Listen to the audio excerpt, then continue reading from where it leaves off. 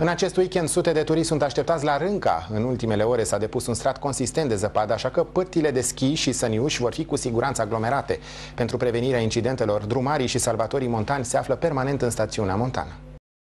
Stratul de zăpadă așternut în ultimile ore este prielnic pentru un sfârșit de săptămână la munte. Iubitorii sporturilor de iarnă care aleg să meargă la rânca zilele următoare trebuie să știe că drumul este curat, iar drumarii acționează permanent pentru înlăturarea zăpezii de pe carosabil.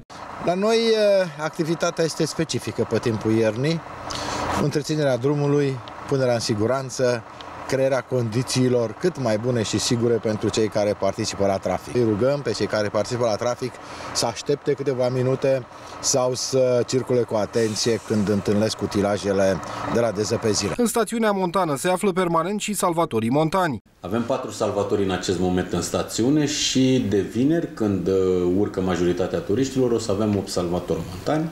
Încercăm să facem față solicitorilor atât celor din Rânca, cât și cele din restul județului. Iar în Rânca asigurăm în permanență o ambulanță și un echipaj de salvator montan cu pregătire medicală la cabinetul medical al punctului salvamont din stațiune. În acest weekend la Rânca sunt așteptate sute de persoane.